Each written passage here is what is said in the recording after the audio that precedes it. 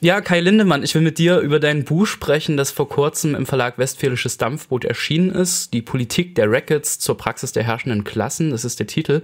Und äh, ich fände es mhm. am Anfang ganz interessant zu erfahren, ähm, ja, wie du vielleicht dazu gekommen bist, dich mit diesem Begriff des Rackets zu beschäftigen, auch vor dem Hintergrund, dass es so eine lange äh, Begriffsarbeit von dir schon ist. Also was ist vielleicht für dich das Schillernde an diesem Begriff, äh, dann so lange sich auch daran abzuarbeiten?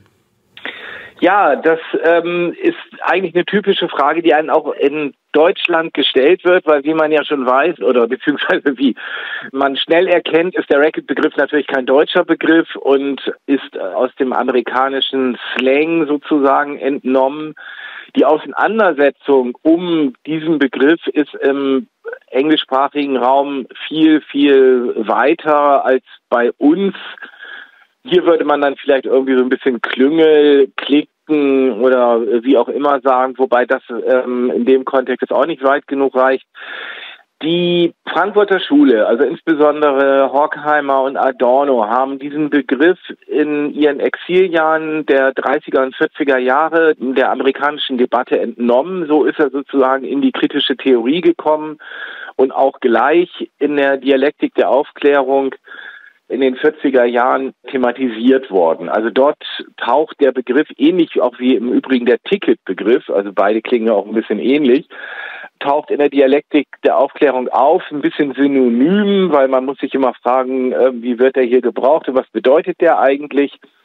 Und äh, lange Zeit war ist halt auch nicht so richtig klar. Also hat man diesen den Begriff auch eher so ein bisschen überlesen. In den 80er und 90er Jahren wurden die nachgelassenen Schriften in der Gesamtausgabe von Horkheimer veröffentlicht und dadurch ähm, konnte man diesen Begriff ein bisschen stärker recherchieren was Horkheimer eigentlich mit diesem Begriff bezweckt hat. Und so bin ich dann auch im Studium mehr oder weniger auf das Thema gekommen und fand eigentlich von vornherein diesen Begriff aus zwei Gründen ganz interessant. Also zum einen ist es ein Begriff, so wie er in der kritischen Theorie, aber im Übrigen auch in vielen anderen Texten, also gerade im angelsächsischen Raum verwendet wird, ein Begriff, der versucht, den Elitenbegriff mit dem Klassenbegriff zu verbinden. Also um es mal ein bisschen salopp zu sagen, weil ähm, wir ja häufig so in der sozialwissenschaftlichen Diskussion oder in der Sozialkritik ist es immer so ein bisschen schwierig zu sagen, ja, die Eliten und die Eliten sind abgehoben und die Eliten sind weit weg von der Gesellschaft. Und da versucht der Racket-Begriff eine Verbindung herzustellen. Das ist die eine Dimension, die ich auch in meinem Buch stark mache, wofür ich diesen Begriff sehr tauglich finde. Und der zweite Ansatzpunkt ist eigentlich der, dass er ähm, staatstheoretische Implikationen hat. Also im, die gehen dann natürlich auch so ein bisschen in den Bereich, ähm, aus dem der Begriff kommt, also sprich halt ein bisschen mehr so in die kriminologische Ecke, inwieweit der ja, ich versuche es auch mal ein bisschen einfacher zu sagen, inwieweit es eigentlich Ähnlichkeiten gibt zwischen ähm, Mafia-Organisationen und herrschenden Klüngel, um es mal ein bisschen salopp zu sagen. Also wo dort eigentlich staatstheoretische Ansatzpunkte sind im Sinne von eigener Souveränität, Gewalt, Loyalität, ähm, Schutz. Das sind eigentlich so die Grundpfeiler, weshalb ich an diesem Begriff ein großes Interesse hatte und auch die Grundpfeiler, die in dieser, muss man auch nochmal mit aller Deutlichkeit sagen, fragmentarischen Verwendung der Frankfurter Schule, also der, der fragmentarischen Racket-Verwendung der Frankfurter Schule interessant sind. Ja. Mhm. Du hast jetzt äh, schon gesagt, in diesem Begriff des Rackets äh, gibt es sozusagen ein Zusammengehen von Staatstheorie und von Klassentheorie und du hast auch schon Implikationen dieses Begriffes äh, angedeutet. Ähm, also das ist ja vielleicht auch für Hörerinnen und Hörer am Beginn eines mhm. solchen Spre Gesprächs doch vielleicht ganz nützlich nochmal sozusagen so ein paar Anhaltspunkte nochmal kurz vielleicht zu geben, was diesen Begriff des Rackets ausmacht. Das meint ja nicht eben den Tennisschläger, sondern es meint ähm, so parastaatliche Strukturen, Gangs und Banden sind angesprochen angesprochen worden und sozusagen ja trotzdem auch irgendwie einen Zusammenhang mit dem, was staatliche Strukturen sind. Was würdest du denn sagen, wenn man sozusagen mit diesem Begriff des Rackets erstmal äh, sich orientieren will, was gehört zu diesem Begriff dazu? Was, was macht ihn mhm. aus? Ja klar, also wir müssen wir müssen das natürlich ein bisschen von dieser abstrakten Ebene der kritischen Theorie wo natürlich in erster Linie begriffliche Implikationen, Auseinandersetzungen vorhanden sind, ein Stück weit auch auf die Empirie mal bringen. Und das ist natürlich eigentlich auch noch die große Aufgabe, um diesen Begriff auch noch stärker zu entwickeln. Also ich habe in meinem Buch erstmal Ansatzpunkte geliefert, wo dieser Begriff für mich relevant ist. Eigentlich müsste man ein Riesenforschungsprogramm auflegen für Racket-Studien in allen möglichen Bereichen. Aber um es mal konkret zu sagen, also der Racket-Begriff ist natürlich anwendbar für Failed States, wie wir sie haben, also wo Gangs herrschen. Wir schauen uns Libyen an, Milizen, die bestimmte Räume unterwerfen und dort versuchen eben halt sozusagen eigene parastaatliche Institutionen zu schaffen, wie wir sie auch von der Mafia kennen. Und ähm, nicht ohne Grund kommt dieser Begriff auch aus dem Amerikanischen. Wenn man sich anschaut, wie solch parastaatliche Gebilde wie ähm, im Chicago der 30er Jahre dort Al Capone über bestimmte Bereiche geherrscht hat, muss man ja offen sagen. Also auch im Grunde genommen ähm, kann man schon beinahe auch aus gewerkschaftlicher Perspektive sagen, einer der größten Gewerkschaftsführer war, weil er Unternehmer bedrängt hat. Im Grunde genommen Unternehmer, Unternehmen halt ausgepresst hat aus der Perspektive der Arbeiterklasse. Also das ist eine andere Form von Klassenkampf gewesen durchaus als die Form, die wir ähm, in Europa kennen, weil in den USA der ähm, Klassenkonflikt halt weniger institutionalisiert ist, offener ist, archaischer ist, muss man mit aller Deutlichkeit sagen, und sich dementsprechend die Seite der abhängig Beschäftigten mehr den Prinzipien der ähm, herrschenden Klasse, also der besitzenden Klasse, anpassen musste mit allen Mitteln. Wir sehen das später bei Lucky Luciano an der ähm, Ostküste. Die Amerikaner mussten mit ihm vor dem Kriegseintritt verhandeln, dass auch ja die Häfen einigermaßen unter staatlicher äh, Kontrolle der USA sind und nicht frei unter einer Mafia-Kontrolle.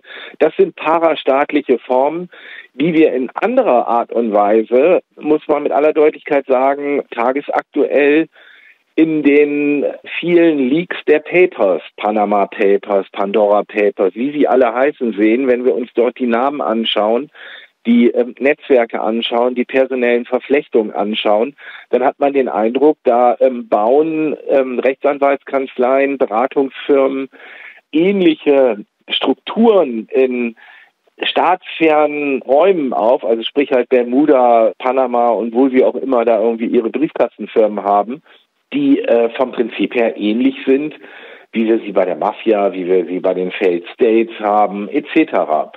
Also das sind alles Ansatzpunkte, die wir ähm, im Übrigen auch tagtäglich beinahe in den Skandalen sehen, ob wir uns die Kurzaffäre in Österreich anschauen, den Cum-Ex-Skandal in Deutschland oder noch viel stärker den Wirecard-Skandal bis hin zur Diesel-Affäre. Wenn wir uns diese Akteurskonstellationen anschauen, wie die eigenständig Normsetzung machen, beziehungsweise sich selber beinahe regulieren und freihändig agieren, dann sind das alles vom Prinzip her dieselben Strukturen, die ich in meinem Buch als Racket-Muster beschreibe. Also dieser Begriff des Racket-Musters politischer Praxis ist halt einer von Horkheimer, den ich halt sehr treffend finde, weil er damit nicht so, wie wir das eigentlich fast sonst immer machen, nur auf Strukturen rekurriert, also nur guckt, der muss dabei sein, der muss dabei sein, in irgendeinen Klickenklüngel, so wie wir ja häufig Eliten denken, sondern er thematisiert das Racket-Muster als ein Praxismuster. Also wie stehen diese Akteure, ob wir die nun bei den Papers nehmen, bei Failed States nehmen, überhaupt uns anschauen, wie Manager agieren. Wenn wir uns diese Praxismuster anschauen, wie Menschen im engeren Kreis beschützt werden, welche Loyalität eingefordert wird, wie womöglich kriminelle Gelder, Gelder hin und her geschoben werden, dann sind das immer dieselben Prinzipien, dieselben Praxisprinzipien und die versuche ich äh, herauszuarbeiten. Zum Verständnis vielleicht eine Nachfrage, weil du jetzt eben die Failed States genannt hast und äh, da mhm. sozusagen in dem Zusammenhang der ähm, Racket-Begriff äh, sinnvoll ist. Gleichzeitig bekommt man ja in deinem Buch eine Ahnung davon, dass sozusagen das Racket nicht das ganz andere ist zu den ähm, ja staatlichen herrschenden Strukturen, wie wir sie kennen, wo man ja vielleicht leicht nach Libyen zeigen kann und sagen kann, da funktionieren staatliche Strukturen nicht. In deinem Buch gibt es äh, mhm. ein Zitat, wo du sagst, das Racket ist das Urprinzip der Staatlichkeit. Und das finde ich ganz interessant. Mhm. Was würde dann vielleicht trotzdem das Racket von der offiziellen staatlichen Struktur auch unterscheiden? Also erstmal muss man natürlich sagen, mit aller Deutlichkeit, also ich beschreibe das Racket-Muster, also so beschreibt es vom Prinzip her die kritische Theorie auch und viele andere, die diesen Begriff nutzen, also auch in der Sozialwissenschaft, in der amerikanischen Sozialkritik wird er sehr häufig verwendet. Also ich, es ist nicht nur die Frankfurter Schule. Und dort wird er immer nur als, das ist halt immer so ein bisschen schwierig bei dem Urprinzip, also dort wird er natürlich in seiner offen aggressiven Form immer nur als eine Möglichkeit gesehen der Praxis im Staat. Oder um es anders zu sagen, also hm, die Racket-Theorie sagt nicht, überall sind Rackets und Bandenherrschaft und etc. So versuchen zwar einige an der einen oder anderen Stelle die Racket-Theorie zu interpretieren, aber das wäre ein bisschen übers Ziel hinausgeschossen. Trotz alledem, um auf deine Frage konkret zu kommen, es gibt diesen man weiß gar nicht mehr, wer den erfunden hat oder wo der herkommt, zum Teil auch in der Tradition der Staatstheorie von Thomas Hobbes, die auch immer, naja, also die man auch mal mit Samthandschuhen anfassen muss, aber ähm, das ist eben halt sozusagen die Urstaatstheorie im westlichen Denken, das kann man nicht bestreiten, das macht Graeber jetzt in seinem neuen Buch auch wieder auf, hat man dieses eine Urprinzip Schutz gegen Gehorsam, also Schutz, wie wir das äh, auch bei ähm, Schutzgelderpresserbanden kennen. Also deshalb ist dieser Racket-Begriff auch so interessant. Im formalen staatlichen Prinzip ist es natürlich nicht Schutzgeld, sondern Steuergeld. Also man zahlt seine Steuern und ähm, hat eine gewisse Leistung. Ähm, bei der Mafia ist es eben halt, sie rennt rum und sagt, ich beschütze euch, wenn ihr Schutzgeld bezahlt. Man weiß zwar nicht immer so richtig, ähm, wovor man beschützt wird. Ähm, genauso wenig weiß man halt auch beim Staat nicht so richtig, wofür man die Steuern zahlt. Aber das ist, sind nochmal Klein-Klein-Fragen. Vor diesem Prinzip steht eigentlich die alte ähm, These, dass ich hader damit deshalb, weil man weiß, kann die gar nicht so richtig zuordnen, die These ähm, des Staates als institutionalisierter Räuberbande. Also das beschreibt eigentlich dieses Urprinzip, wie Staatlichkeit entsteht. Und institutionalisiert heißt halt, wir sind hier, wir machen hier ein Prinzip auf, ein Prinzip, das bestimmte Elemente hat und das haben wir halt sozusagen in den in den Urformen, also Elemente hat von abgegrenzter Raum, von Reproduktionsraum, das ist ja das, was uns auch immer ähm, in den Wohlstandsfragen interessiert, äh, Bruttoinlandsprodukt, Arbeitslosenquote etc. Ein theologisches Prinzip muss man dazu rechnen zu diesen Urstaatsprinzipien. Also es gibt eine äh, Ideologie, die Dinge wie Schuld und Gemeinsinn ähm, thematisiert. Also wem ist man etwas schuldig? Dieses archaische Prinzip kommt immer wieder durch, wenn es heißt, niemand darf faul rumliegen, alle müssen schön arbeiten. Das sind halt sozusagen die Dinge, die, die im Racket-Prinzip auftauchen, als auch in der Staatsanthropologie, sag ich mal. Und das ist eine Dimension, die uns häufig auch gerade in der linken Debatte, in einer, in einer ähm, kritisch linken Debatte verloren geht. Ähm, da waren die kritische Theorie und Horkheimer und Adorno ein bisschen weiter. Die waren ja in vielen Dingen, was die linke Debatte betrifft, ein bisschen weiter. Also kurz gesagt, es gibt dieses staatliche Prinzip nicht nur in dieser ähm, formalen institutionalisierten Räuberbande, sondern dieses staatliche Prinzip kann sich auch diversifizieren, wie wir das, wie es eigentlich immer der Urzustand war. Also, dass wir nicht nur einen monopolartigen ähm, Staat haben, der ist ja erst durch den Absolutismus entstanden, sondern früher mit den Fünften, mit Religionsgemeinschaften etc. gab es eigene Souveränitätsräume mit eigener Gerichtsbarkeit, mit eigener Theologie sozusagen, mit eigenen Reproduktionsprinzipien. Und da kam natürlich auch das Racket-Prinzip schon zum Tragen. Also Zünfte oder wie sie dann später sozusagen illegal im Untergrund weiter agiert haben, die Freimaurer oder sowas, ähm, ist natürlich naheliegend, ist so, ein, so eine alte Verschwörungsnummer, die ja immer auch einen kleinen, einen kleinen Aspekt von ähm, Wahrheit haben. Das sind natürlich Racket-Formen, das sind Racket-Praxisformen, wie wir sie sehen. Und die uns heute auf den Finanzmärkten äh, mit den großen Monopolen auch vor Augen stehen. Also deshalb finde ich das auch immer komisch, dass die linke Kritik immer nur auf so ein, das schreibe ich ja auch in meinem Buch, immer nur auf so ein bisschen veraltetes Staatsprinzip fokussiert ist und gar nicht kapiert, also um es mal ein bisschen salopp zu sagen, dass wir es mit äh, Facebook, Microsoft, Google im Grunde genommen schon mit Formen von ähm, Parastaatlichkeit zu tun haben, die nicht von ihren Grundprinzipien so weit entfernt sind von Mafia, Failed States etc. Ja, auf die äh, linken Debatten und auf das Problem der Verschwörungstheorien können wir gleich vielleicht auch nochmal zurückkommen. Mhm. Vielleicht sozusagen ein Stichwort von dir aufgegriffen. Du hast gesagt, äh, Schutz gegen Gehorsam. Und das verhilft einem ja vielleicht dazu, ähm, zu verstehen, wie Herrschaft überhaupt funktioniert, wie Klassengesellschaft funktioniert. Und das ist ja eigentlich das Interessante. Der Untertitel deines Buches lautet zur Praxis der herrschenden Klassen. Und das ist was, was du betonst. Mhm. Du sagst, wenn es um die Kritik der Klassengesellschaft geht, dann muss man sich eben auch konkret anschauen, wie handeln sozusagen sozusagen herrschenden Klassen, wie handeln Kapitalfraktionen, wie handeln ja sozusagen Teile des Staates oder wie handeln sozusagen gesellschaftliche Gruppen, die auch vielleicht gerne Teil des Staates wären, obwohl sie es noch nicht sind. Und ähm, das heißt sozusagen ähm, Praxis der herrschenden Klassen muss man sich anschauen, weil man sonst nur die eine Hälfte eben der Gesellschaft hat. Und trotzdem gibt's ja, und das betonst du auch, sozusagen einen Zusammenhang zwischen dem, wie die herrschenden Klassen handeln und dem, wie sich sozusagen die ausgebeuteten, äh, unterdrückten Klassen verhalten oder wie sie auch eingebunden sind, da kommt dieser Begriff der Beutegemeinschaft ja ins mhm. Spiel, der mir sehr maßgeblich zu sein scheint für den Begriff des mhm. Rackets. Was würdest du denn sagen? Was für, was für eine Rolle spielen die unterdrückten, ausgebeuteten Klassen in diesem Begriff des Rackets? Also ich versuche, zumindest so bin ich mehr oder weniger so ein bisschen in meiner Kapitalismus-Theorie geschult worden und ähm, so ist die Kapitalismus-Theorie auch der Frankfurter Schule, also oder um es mal konkret zu sagen, wenn wir von Kapitalismus-Theorie reden, dann dreht es sich um die Kritik der politischen Ökonomie und die zielt halt auf das Kapitalverhältnis, also auf ein Verhältnis.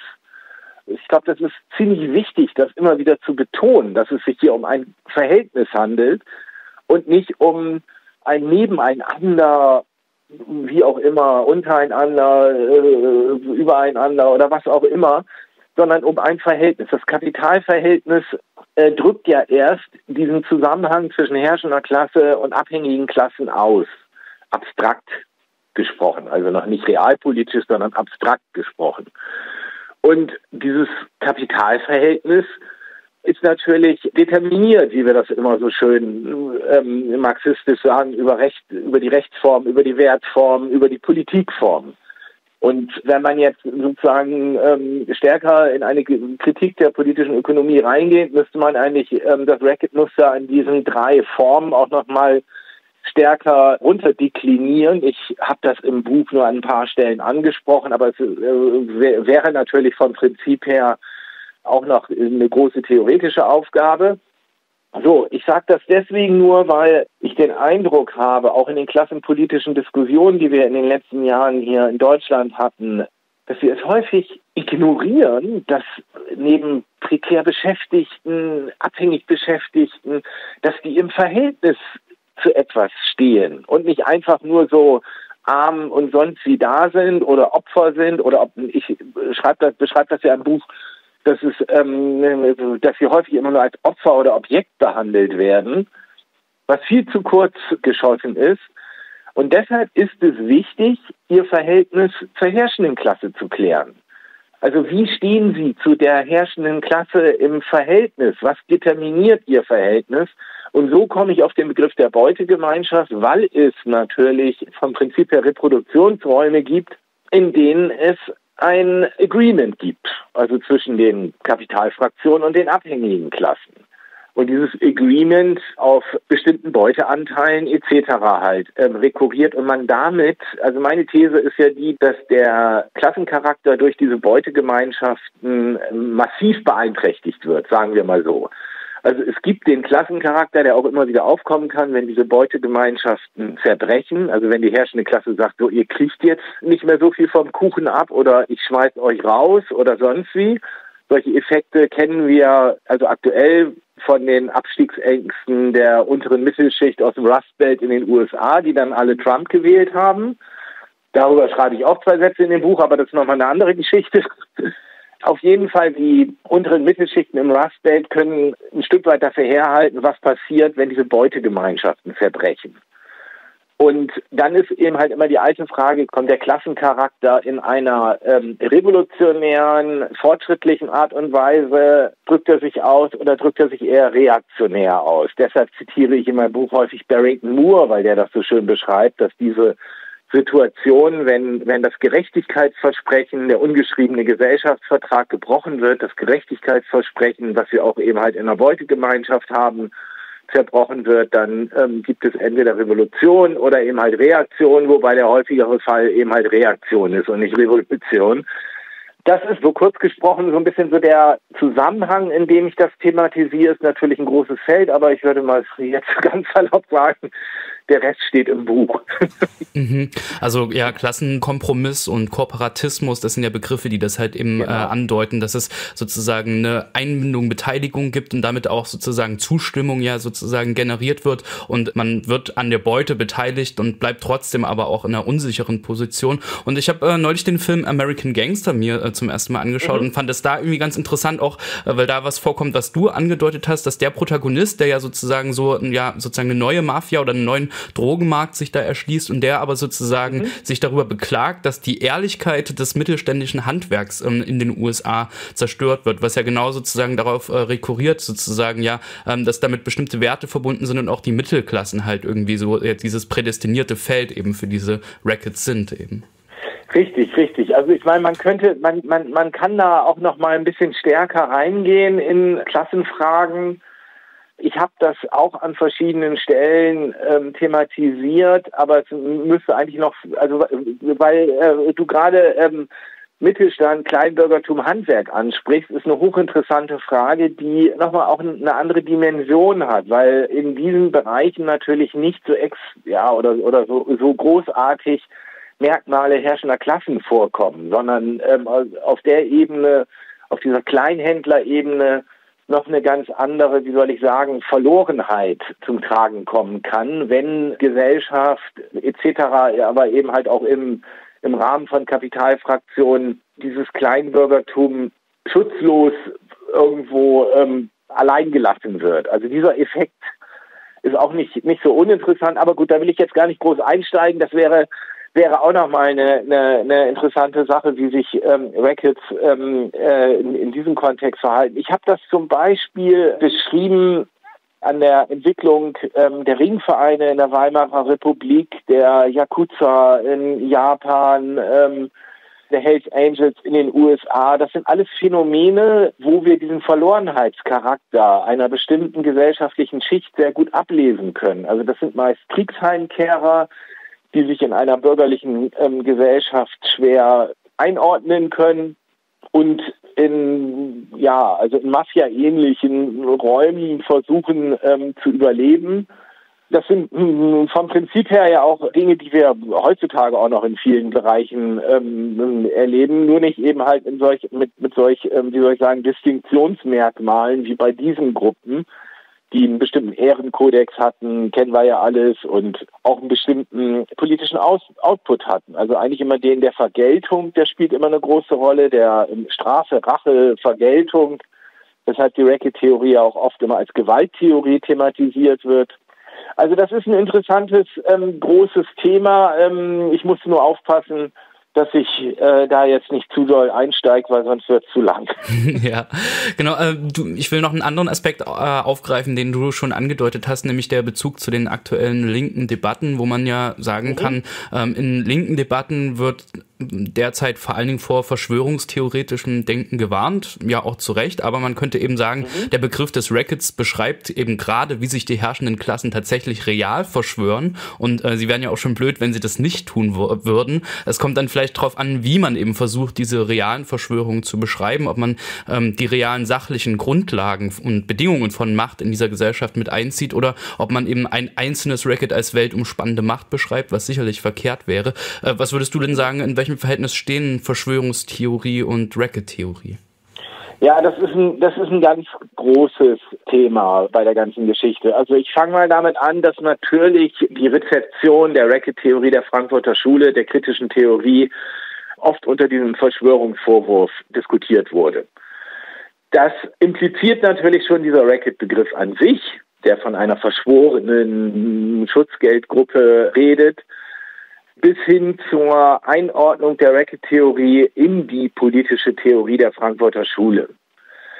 Dort gibt es genügend Indizien und Merkmale, die das begründen, also die den, den, den ähm, Vorwurf der Verschwörungstheorie begründen. Das liegt zum Teil daran, dass der Racket-Begriff, gerade was die Notizen der Nachkriegszeit von Horkheimer betrifft und die ähm, klassentheoretischen Vorarbeiten zur Dialektik der Aufklärung, dort wird der Racket-Begriff oft widersprüchlich verwendet, oft sehr fragmentarisch. Das bietet genug Anlass zu sagen, das ist ein bisschen komisch, wie die drüber schreiben. So, das ist die eine Sache. Die andere Sache ist die, dass in der Dialektik der Aufklärung, also mm, vom Prinzip her eigentlich in der großen These der Frankfurter Schule bezüglich der Aufklärung, also der Widersprüchlichkeit der Aufklärung, die Grundannahme hintersteckt, dass Herrschaft, und das würde, glaube ich, niemand bezweifeln, und das ist halt auch eine Frage von Ideologie, dass Herrschaft als Herrschaft an sich natürlich immer verschworen ist gegen den Rest weil der Rest nicht weiß, wie sie beherrscht werden. Also das ist eine Grundannahme, die uns heutzutage ein bisschen verloren geht, aus, ähm, kann man schon beinahe sagen, aus ideologischen Gründen. Interessant finde ich, dass dieser Verschworenheitscharakter der Herrschaft jetzt gerade ganz hochaktuell in der neuen Publikation vom Unsichtbaren Komitee aus Frankreich ganz vorneweg thematisiert wird. Also die haben wirklich eine Racket-ähnliche Thematisierung der Verschworenheit von Herrschaft und die finde ich hochinteressant. Also wo sie auch mit aller Deutlichkeit sagen, hier beginnt Verschwörung und da endet Verschwörung. Nicht in diesem gängigen, natürlich völlig abgegrenzt zu diesem gängigen Querdenker und sonst was Geschichten, die wir seit ein paar Jahren erleben, wo man sich auch immer fragen muss, wie es in den Wald hineinschaltet, so schallt es heraus. Also ich meine, die größte Verschwörungstheorie des 21. Jahrhunderts ist die, dass alle Arbeitslosen faul sind und nicht arbeiten wollen, ähm, die marktgängig ist, in der Bildzeitung überall stand, ähm, hin und wieder immer noch steht. Also das muss man sich einfach auch immer vor Augen führen. Wo haben wir im normalen gesellschaftlichen Diskurs anerkannte Verschwörungstheorien und wo ähm, werden bestimmte Dinge als Verschwörungstheorien gebrandmarkt? So, nächster Punkt zu einer, also nach meinem Verständnis, und ich glaube auch, das ist das gängige Verständnis, da muss ich dich auch ein bisschen kritisieren, weil du das eben gesagt hast. Ich schreibe es ja auch in meinem Buch. Zu einer Verschwörungstheorie gehört immer ein Plan.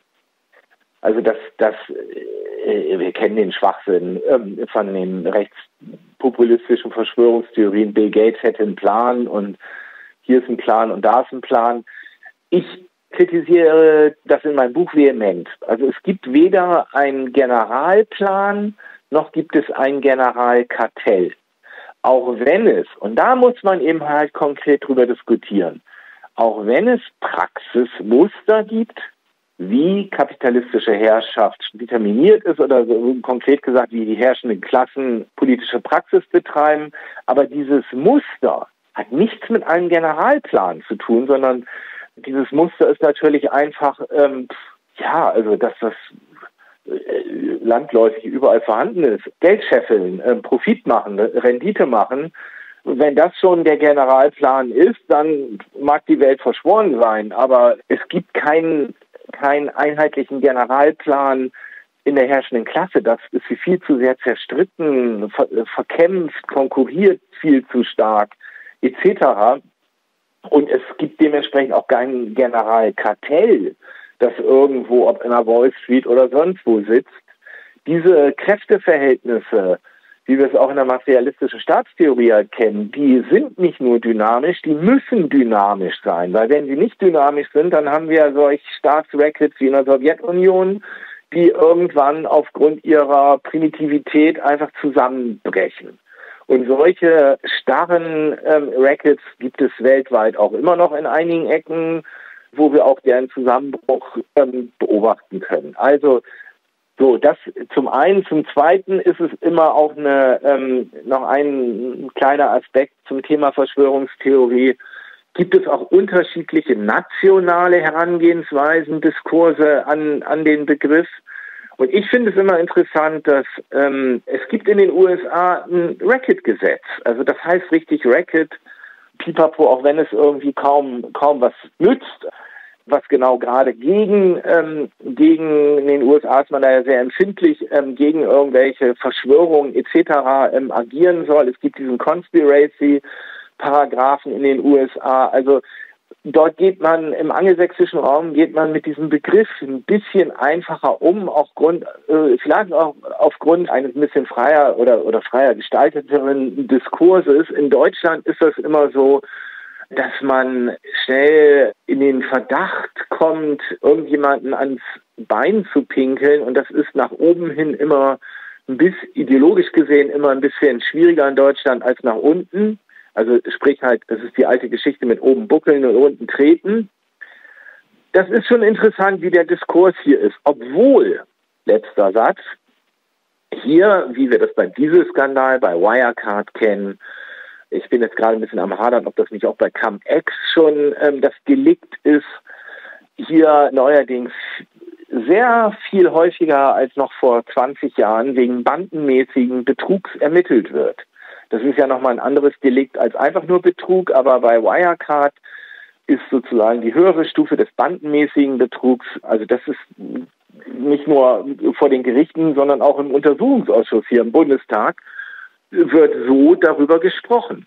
Und da kann man sich natürlich mal, schon mal fragen, irgendwie, wenn es hier um Banden geht, um Absprachen, geheime Absprachen, ob das nicht auch vielleicht, kann man durchaus auch das Wort Verschwörung gebrauchen bei solchen Fällen. Das heißt jetzt nicht, innerhalb, dass alle so sind, sondern nur bei solchen Fällen.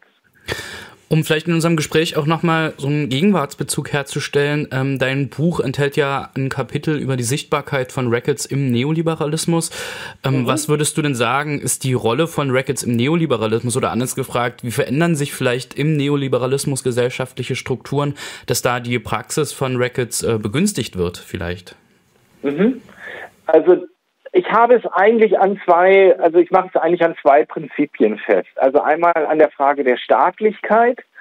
Wir wissen es alle, dass der Neoliberalismus privatisiert an allen Ecken, also staatliche Funktionen privatisiert, Krankenhäuser privatisiert, Dinge, die eigentlich nach, sagen wir mal so, nach normalen Prinzipien, und da spreche ich nicht nach, von den Prinzipien des absolutistischen Staates, sondern nach den normalen Prinzipien einer solidarischen Gemeinschaft, Gott, also wie wir sie äh, im Mittelalter und davor schon hatten, es eigentlich bestimmte Dinge gibt, die äh, ja, die nicht in Privatbesitz gehen, also die einfach allgemeingut sind. Wir kennen das aus den Allmende-Cummins-Diskussionen etc. Und wir haben im Neoliberalismus halt eine Extremform der, ähm, wie wir das ja schon immer in der Debatte sagen, der Vermarktlichung aller möglichen gesellschaftlichen Prozesse. Und das gibt natürlich dem Racketmuster politischer Praxis Auftrieb, weil sich dadurch Gruppen in der Gesellschaft viel einfacher diesen Praxismustern, äh, diesen Praxismuster aneignen können um zum einen ähm, natürlich Rendite zu erwirtschaften, um zum anderen in bestimmten Räumen Souveränität aufzubauen, ob kriminell oder nicht kriminell. Das heißt, es kommen archaische, im Neoliberalismus viel stärker archaische Prinzipien dieser Staatlichkeit zum Vorschein, wie wir sie vorher nicht so offensichtlich gesehen haben. Wir sehen das ja auch an den Ungleichheitsdebatten, also wie viel einfacher sich Super-Rich Mehrwert aneignen können, ohne das auch nur irgendwo zu legitimieren, weil sie gar nicht mehr besteuert werden, weil sie ihre ähm, eigenen Großkonzerne aufbauen etc. Also das sind alles Mechanismen im Diskurs, die diese archaischen Prinzipien vorantreiben. Ein zweiter Punkt, den ich ja in meinem Buch thematisiere und der nicht so unerheblich ist, ist die Frage, muss man sich ja auch immer darüber im Klaren sein, was haben wir in neoliberaler Theorie eigentlich für Racket-Prinzipien? Und da bin ich nun an vielen Ecken drauf gestoßen, nicht nur ich, auch viele andere schon, dass Wirtschaftsnobelpreisträger, neoliberale Wirtschaftsnobelpreisträger ganz offen sagen, ja, eigentlich ist es ja komisch, dass überhaupt Raub verboten ist.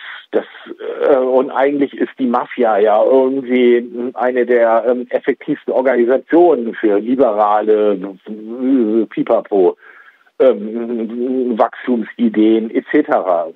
Das versuche ich halt mit ein paar Beispielen in meinem Buch deutlich zu machen, wo meiner Ansicht nach in, in der neoliberalen Theoriebildung dem Racket-Muster Vorschub geleistet wird und wo normativ, also die neoliberale Theorie kennt ja irgendwie Kritik sowieso nicht, also normativ in einem, in einem ähm, konzeptionellen Rahmen Prinzipien dargelegt werden, die in der kritischen Theorie, also in der, in der Sozialkritik des Rackets sozusagen kritisiert werden, deutlich gemacht werden. Also da überschneiden sich zwei Bereiche auch in der Theoriebildung. Also das, man könnte es jetzt auch noch mal ein bisschen überspitzt sagen, das, was man heute an Wirtschaftstheorie an den Unis lernt, hat durchaus viele Prinzipien, die eigentlich irgendwie sagen, das Idealbild ist ein Racket. Äh, wenn du so handelst, äh, machst du am meisten Mehrwert, Gewinn, ähm, so kannst du durchstarten.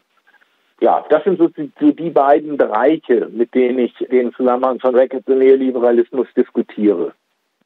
Vielleicht eine abschließende Frage. Wenn ich dein Buch richtig verstanden habe, dann ist ja die Perspektive schon äh, sozusagen das Grundanliegen, Klassengesellschaft zu überwinden, vielleicht auch eine Gesellschaft jenseits des Herrschaftsprinzips mhm. denkbar zu machen. Und dem steht natürlich äh, das Racket entgegen als eben eine konkrete Praxis von herrschenden Klassen. Was wäre denn die Perspektive jenseits des Rackets? Also ja, was kann man sagen? Wie überkommt man das Racket-Prinzip? Mhm. Ja, das knüpft eigentlich auch eben halt an die Auseinandersetzung mit dem Neoliberalismus an. Ich muss voranschicken, ich bin in meinem letzten Kapitel, wo ich sozusagen ähm, Ansätze zur Überwindung der Racket-Gesellschaft ein bisschen konturiere. Da bin ich so ein bisschen, wie soll ich sagen, also so ein bisschen defetistisch im Rahmen der Racket-Theorie. Und zwar deswegen, weil ich mit aller Deutlichkeit schreibe, dass demokratische Kollektive also transparente, offene demokratische Kollektive, die Alternative zu Rackets sind.